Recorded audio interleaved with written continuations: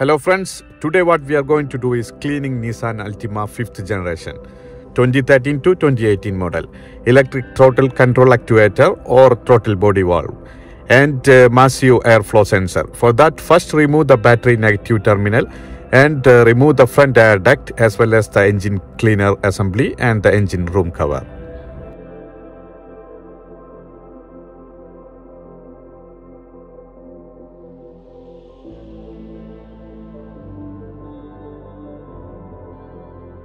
Remove the plastic retainer on the front case with trim removal tool.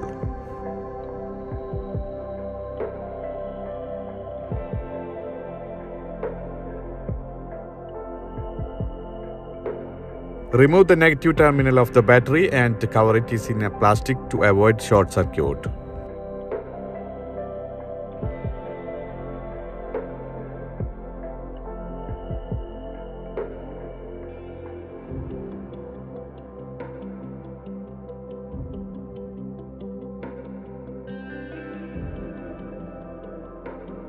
Now remove the front air duct 2 bolt using the 10 mm socket.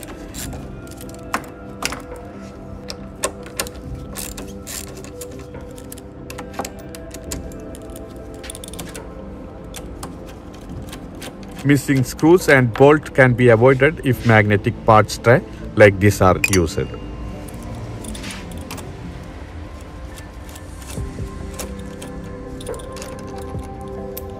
Slowly remove the front air duct and keep it aside.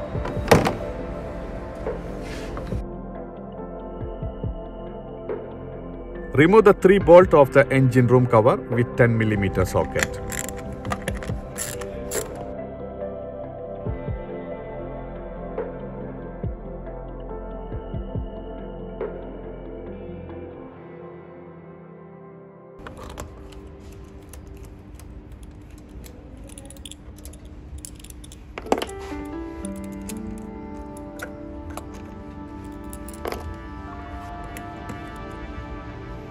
Slowly lift the bottom clip on the right side of the engine room cover or use a flat screwdriver to pull it off slowly without breaking it.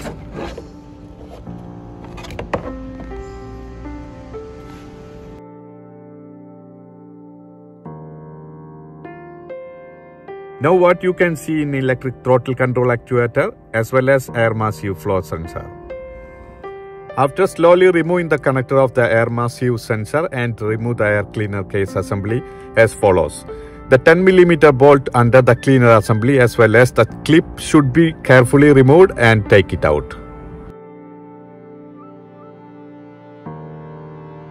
The air duct hose and resonator connected above to the throttle control actuator should also be slowly removed and taken. Now remove the throttle control electrical actuator connector just press it and lift. You can now see how much carbon has accumulated in the throttle body valve. Remove these two coolant hoses connected to the throttle body valve. Before removing, cut off the flow with plastic hose pliers and gently pull the clip off.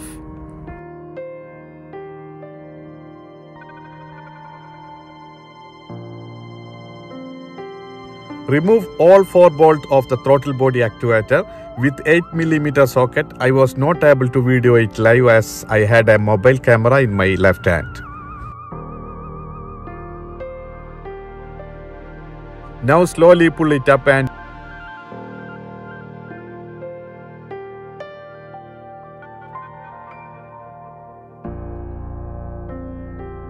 you can see the carbon sticking to it.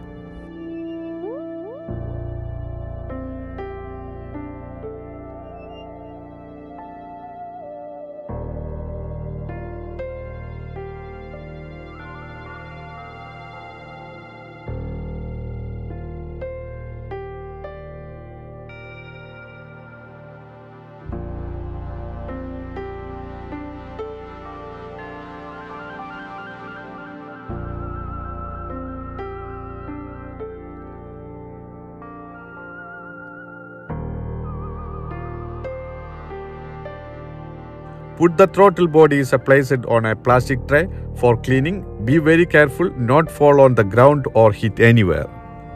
Mark the frame of the throttle body actuator and hose clamp with a marker so that you can understand the alignment and avoid the confusion.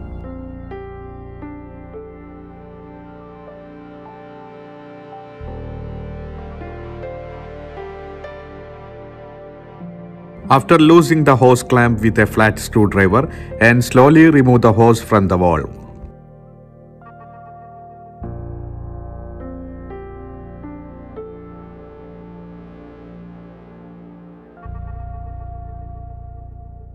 You can now clearly see how much amount of the carbon is stick to the throttle body valve.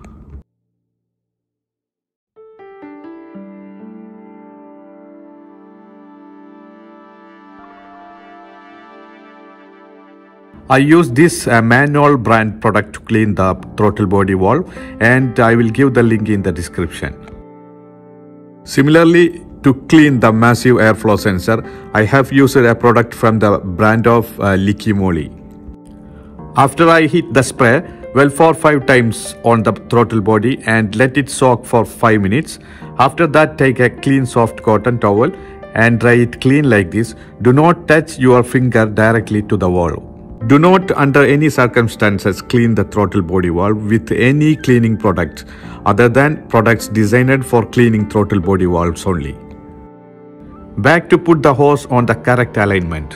Back to put the throttle body actuator on the same position and use the torque with 84 inch pound or 7 foot pound.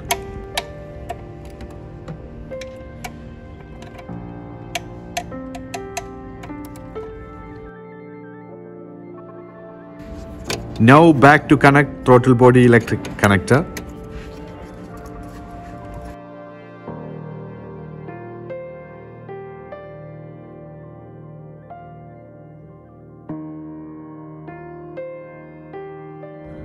After reconnecting to the coolant hoses and remove the plastic hose pliers, don't forget to connect the hose clamp and clean the coolant on the area with a towel.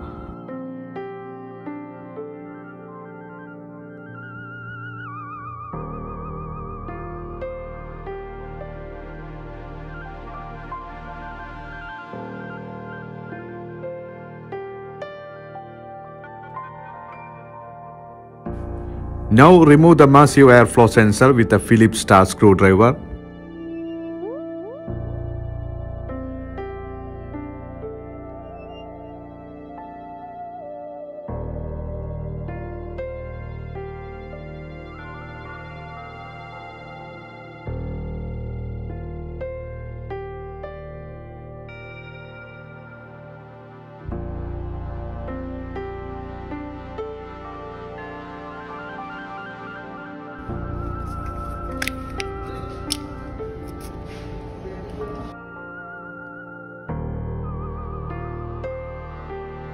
Okay uh, guys next clean the massive sensor trolley with sensor cleaner and then wait for it to dry for about 10 minutes.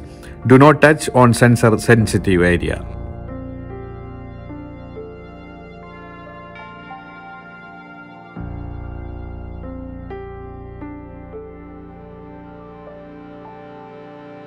After dry massive sensor, back to connect on the reverse order.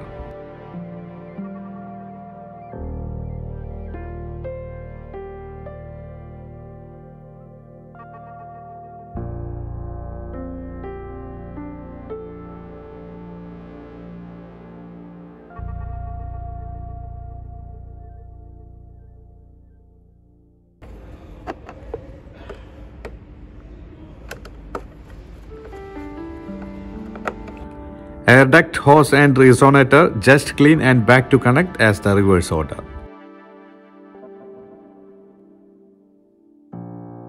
Back to connect massive airflow sensor electric connector with a plastic retainer.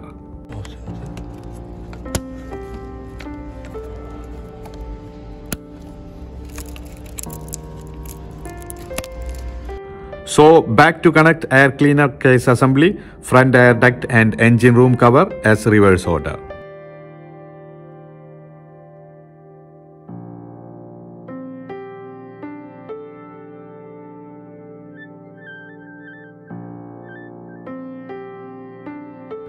Now back to connect battery negative terminal.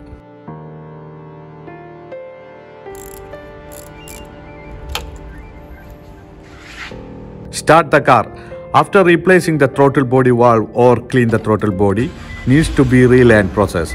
I mean reprogrammed. But the 2013 fifth generation of Altima does not need to be relearn. I mean that depends on the model and manufacturer specification. What I felt was that after I stepped on the accelerator, the car started to rise again and after waiting for 5 minutes, it returned to the normal RPM. This is my first time cleaning the throttle body valve, so I had to relearn process on it. So I was uh, prepared that, but the fifth generation of Altima does not have to do the same as the fourth generation of Altima or any other models. I used this OBD2 scanner by Veepeak brand to confirm that the engine reached normal RPM and I will provide the link in the description.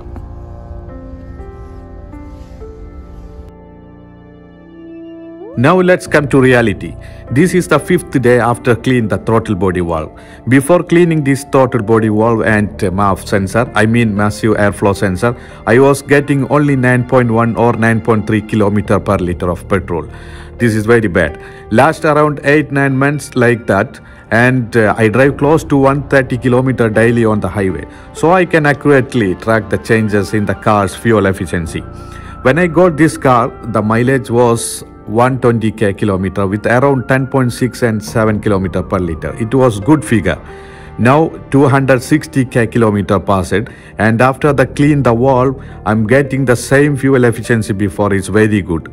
I did all the step for relearn process but there is no reaction from the car. Then I realize uh, this car is not required. If there are any mistakes on my part, please uh, correct me. After I hit full tank of 68 liter Altima capacity, I have now managed to drive 702 km and 10.7 and uh, uh, 10.78 per liter. It's very good figure for Altima 2.7 liter engine. I hope this video is helpful for you. Thank you for next time.